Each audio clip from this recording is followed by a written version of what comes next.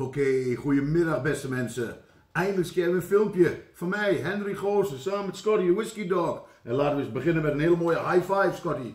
High five, goed zo jongen. Dat is mooi, want we hebben weer een mooie, absolute mooie proeverij. Deze keer als verrassing. Ook dat kan nog. De meneer weet niet dat hij hem krijgt. Dus dat zal morgen een mooie verrassing zijn als hij dit weet. En dit is een mooie taste. Veel mensen, dus grote flessen. En we hebben echt een taste hier van smaak. Heel veel Speyside en heel veel smaak. Plus leeftijd. En dat maakt dit een geweldige distillery. En een geweldige proeverij. Want we hebben we. We beginnen met Speyburn, de Hopkins. In Amerika een bekend ziekenhuis, Johns Hopkins. Maar hier is het gewoon de basis van een lekkere tasting.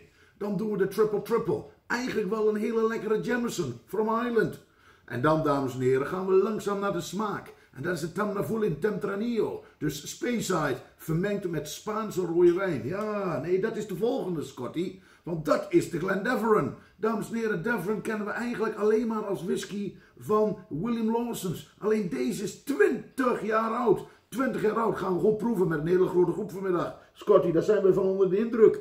En dan doen we gewoon een geweldige Glenfarclas en dan de 105, gewoon 60%, alsof het niets is. En hebben we die overleefd, dames en heren, is er altijd nog Smokehead om af te sluiten. Met andere woorden, wat krijgen ze een prachtige proeverij en wat gaat er veel gebeuren. Wij zijn er blij mee en ik hoop de meneer die deze als verrassing krijgt ook.